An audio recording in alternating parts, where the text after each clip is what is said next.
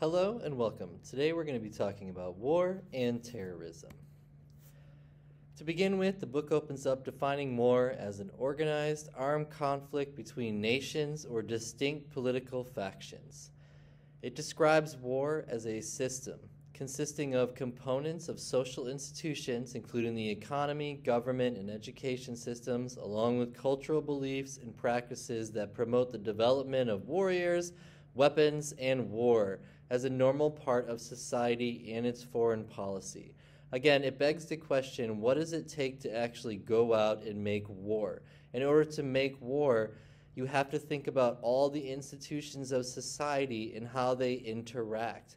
Without a good economy, without a strong government, it's very hard to produce the means of production required to make war. Without a government guiding war, it can also be very scattered. When it comes to peace, the book offers various definitions, but again, what does it mean to have a peaceful society is you know, arbitrary. Some people think that peace looks like a world without guns. Other people think that in order to have peace, you need to have guns. And so again, we have some various ideas about what a peaceful society would look like. What would happen if our ability to make war, the war system itself was deconstructed, and then somebody engaged in a terrorist attack or a war attack against us, and we didn't have the means to be able to protect ourselves. Is that a good society? Again, do we always need some form of the ability to make war, some system in place to gather up taxes, to be able to fund the means of production for the war?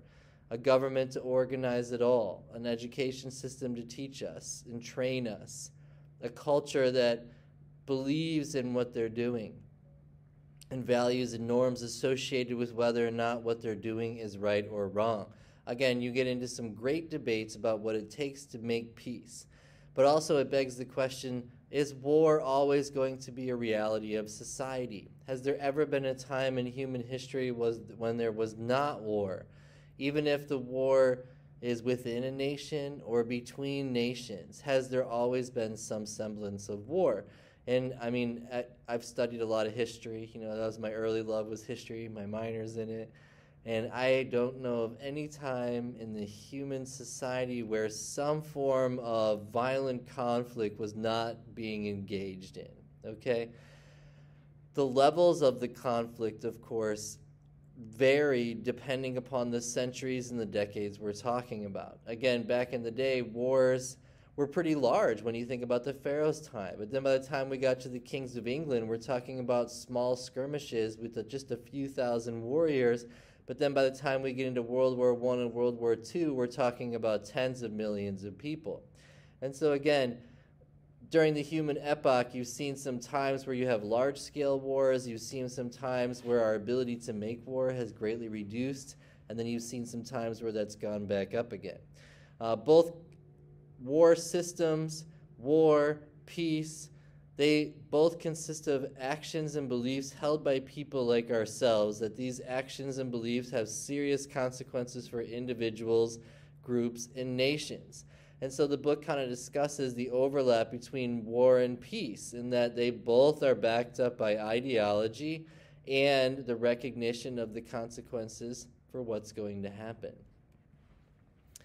When it comes to theories of war and terrorism, again, we introduced this by kind of talking about a systematic approach to war.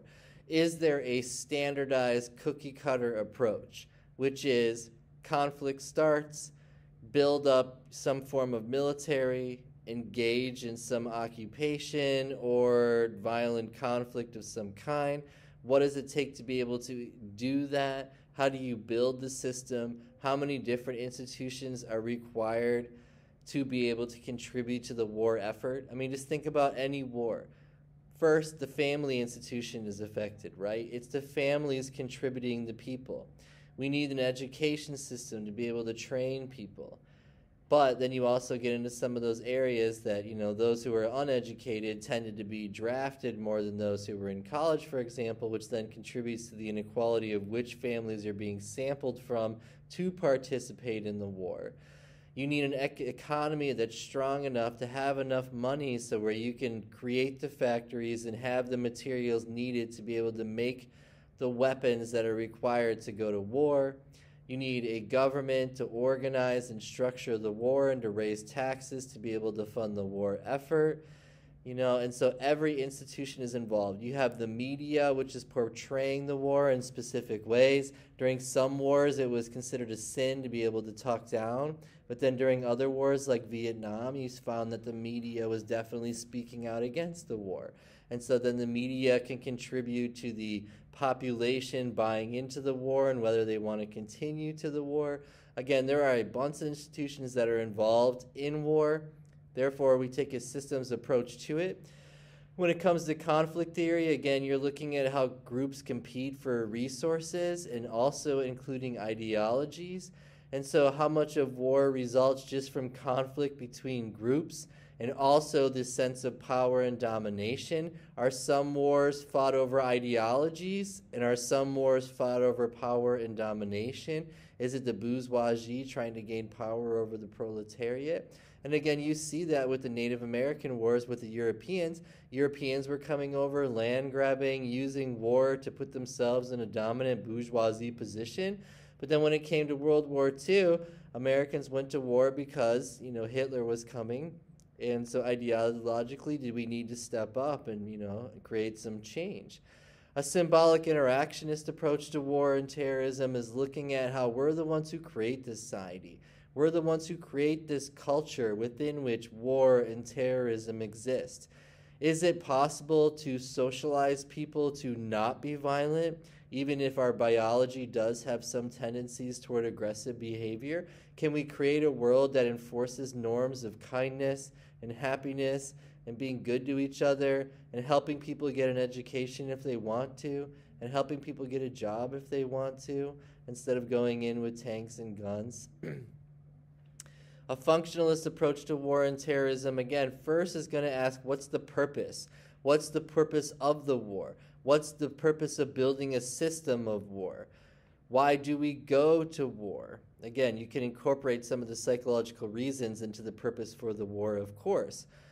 The functionalist perspective also looks at war as a social construction, something that we use to achieve a purpose. It serves some kind of a function. So, again, what is the function of war? Is it to make war and be an aggressor, or is it for protective purposes? A biopsychosocial approach to war, one looks at the biology of humanity itself, and that all organisms, regardless of your sex, have some violent tendencies. So, humans, chimpanzees, for example, it is in our blood, in our genetics, to have the ability to murder. However, so much of our biology is structured by the social context, the social aspects of it, the culture we live in, the norms, value systems, criminal justice, war courts, what is considered a war crime, what is considered genocide. Then the psychology of war, again, is our cognitions. How much control do we have over our biological behavior? You know, we're the ones who are thinking and creating this world. Should we build it in a different way? You know, and again, a lot of that has to do with just the basic cognitions, stereotypes, schematic knowledge, how we approach the world, how we make how we reason out problem solving. You know, so again, war and terrorism is very much so a biopsychosocial approach, beginning with the biology of the body and the capacity for violence the psychology of cognition and motivation and anger and frustration and all of those factors, and then the sociological social context, the culture we live in, you know, socioeconomic status purposes, things along those lines. Anthropological approach again is focusing on culture, and it's looking at you know, do we have a culture of warfare? Is a culture of warfare normalized in our modern times, or is it not? Can we rebuild our cultural values to create a more peaceful world? So, again, very interesting cultural approach. The nature of war, the book breaks it down into two parts. It's talking about interpersonal violence, which is small numbers of people conflicting, and then collective violence, which is organized violence by people trying to promote change, resisting social policies or practices that they consider oppressive. And so, again, you can kind of look at it as small groups versus large groups. But again, interpersonal violence, such as you know the Kaiser being killed, you know, can turn into very large collective violence, turning into World War One when all the European powers decided to fight with each other, and then many other countries got involved in that, also including India and Africa. The consequences of war, the direct effects of war are loss of human life and serious physical and psychological effects on survivors. The book does some demographic statistics, and it says out of the 589 wars that were fought by 142 countries sampled between 1500 and 1900, 142 million lives were lost. In the earlier wars, you started to see most of it was the soldiers being killed, but then in the later wars, like World War One and definitely in World War Two, where the civilian deaths outweighed the number of deaths by soldiers, you can see that it's not only soldiers being killed, but also civilians. Again, to get into the history of war, we would have to go deep into every single country going back thousands of years. Again, I introduced some of the ideas of the Egyptians, you know, warring with the Hittites, or were they friends, you know? You have just so many examples. The Persians coming over, the Greeks, the Romans, the European powers. You have Japan invading China. You know, you have now China turning the corners and starting to invade other places. War has been going on for a long time. And again, we're in a sociology class, so we're not going to sit here and break down the entire history of war. Obviously, we would be here for many, many hours, and y'all would fall asleep. Uh, just kidding. I never fall asleep because it's so interesting. I love studying history. But yes, the war history of wars are very, very extensive.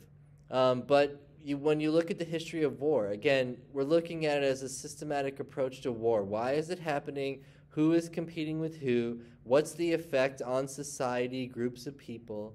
Is it death? Is it mortality? Is it destructions of the cities? Is war associated with poverty? You know, again, these are all huge factors because, yeah, war is associated with poverty. Why do you think Germany went to war again in World War II? It's because after World War I, they found themselves in deep in debt large inflation, absolute poverty, huge numbers of unemployment. So then they decided to build up their war, build up their economy, they go out to prove themselves, and so begins World War II. So again, you know, a lot of factors here with the history of wars. The book talks about weapons of mass destructions, again, looking at nuclear, biological, chemical, or radiological weapons that can kill thousands of people. These have been used in history. Again, the United States dropped a nuclear bomb on Japan twice. You know, gas warfare, mustard gas, for example, was used in World War One, and you know, so these have been you know outlawed. But again, war in any form is terrible. It's just that you know the use of a nuclear weapon could literally wipe out the entire world. Some of the consequences of the war, including the idea of dehumanizing the enemy and considering them the outgroup, post traumatic stress disorder. Again, how does war affect you know the psychological factors and then biological factors like injuries disabilities and death. And then again we have to look at war as a business. Who's making money on war? How is it affecting the economy of society? Again americans we sell you know trillions of dollars every year worth of weapons. We make tons of money off the sale of weapons to other countries that don't have the economies and the infrastructure to be able to build weapons of their own. Is that morally acceptable? Again, good questions. Military technology in war. Over time, obviously, weapon systems have become far more developed. You know, the Egyptians when they had the chariot, that was an incredible advancement in military technology, which enabled them to move quicker across the battlefield, for example. In modern times, if when like in World War One, when people went out on horses and came up against metal tanks, it was very bad. Entire armies were literally wiped out in one single day.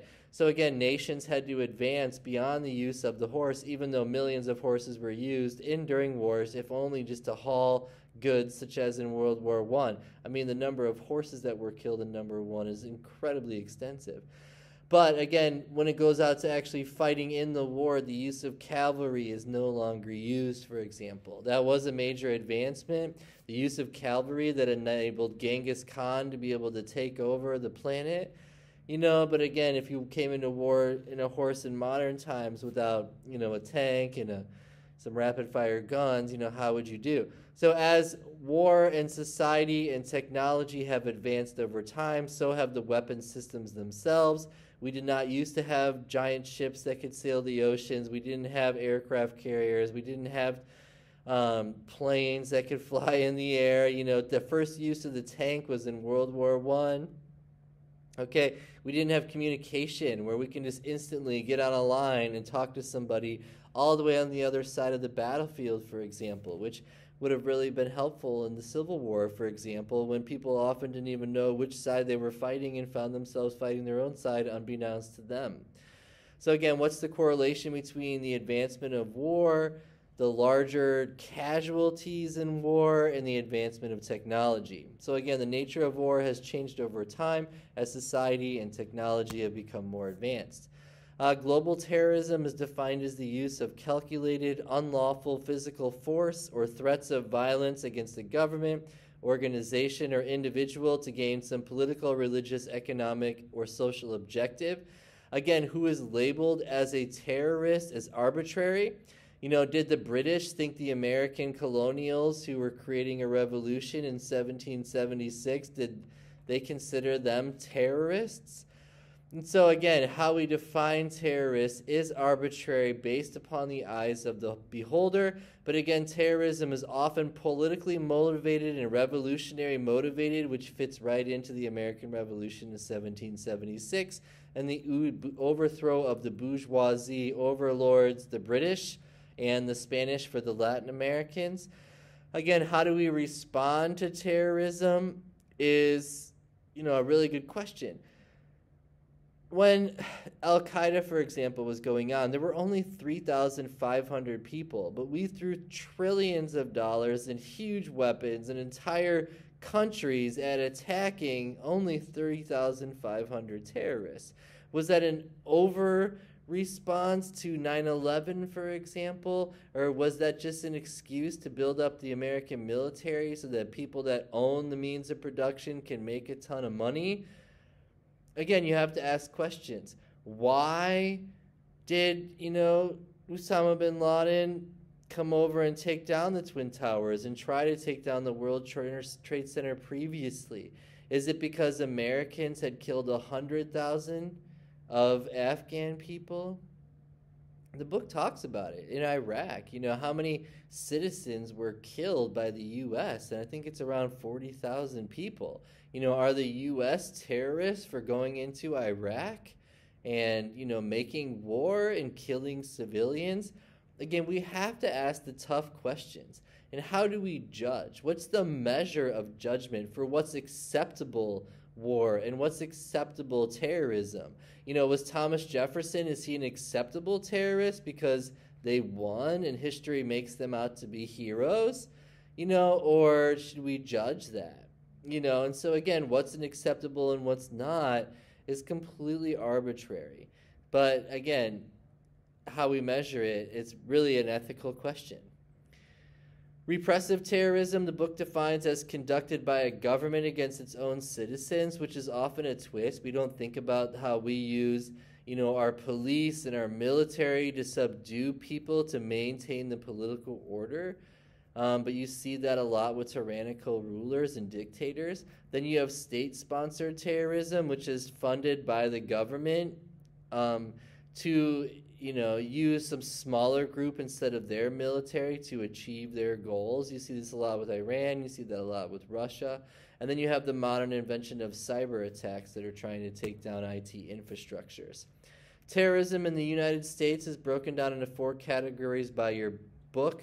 Uh, these are the most at risk of, of terrorists that we're likely to see in the U.S. Again, foreign sponsored terrorism on U.S. soil, domestic sponsored terrorism, foreign sponsored terrorism, again, like 9 11, domestic uh, sponsored terrorism, like um, the taking down of the FBI building in Oklahoma City, or pipe bombs. Uh, you have terrorisms and then other nations that might affect U.S. citizens, especially journalists and other people traveling in other countries. And then you have cyber warfare and information terrorism, which is defined as aggressive assaults on government computers and IT infrastructure, also the stealing of uh, IT infrastructure and technology, and destroying of records. The book talks briefly about solutions to war and terrorism, but again, it asks questions like Is war an obstacle to human interaction? Would we be more farther along as a society if we weren't constantly going to war? It's kind of like the Greeks knew the world was round. Then, because of plagues and other diseases and war and destruction and the destroying of the library in Alexandria, for example, people forgot the world was round for like 2,000 years, you know. Then they remembered again. If we weren't at war and destroying civilizations, would we be much farther along and have known that the world was round for thousands of years, for example? Uh, passions to war put towards climate change. What if all those $2 trillion we're spending globally on war every year, what if we were to take that money and put it towards solving the earth? What does the future of terrorism look like? Is it going to increase or decrease? Would reducing inequality reduce war and terrorism? Because think about it. Why are people most likely to be terrorists? Because they're living in an oppressive system, then and they're more likely to be in poverty. I mean, again, the groups that are engaging in terrorism don't tend to be highly educated, very affluent, wealthy people. It tends to be either people living on the fringe, which you see a lot with American domestic terrorism, or you see, you know, very poor countries with no infrastructure, no health care, no education system. And you see higher rates of terrorism in those countries. Again, is peace possible when humans are inherently violent? Will there always be war simply because we are a biological being? Again, these are just some great questions. Thank you so much.